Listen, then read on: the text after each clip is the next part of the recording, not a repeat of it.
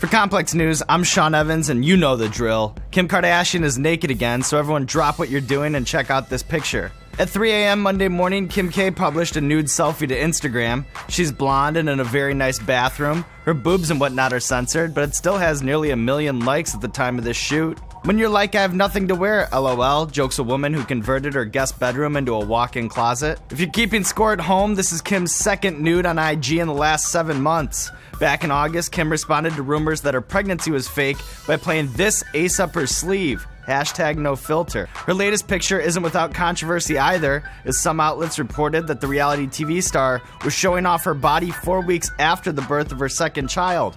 Though Us Weekly cites a rep for Kim as saying that this is actually a flashback picture, as the kids say. That's the news for now, but stay tuned to Complex News on YouTube this week as we head to Miami for the presidential debates on Wednesday and Thursday. For Complex News, I'm Sean Evans.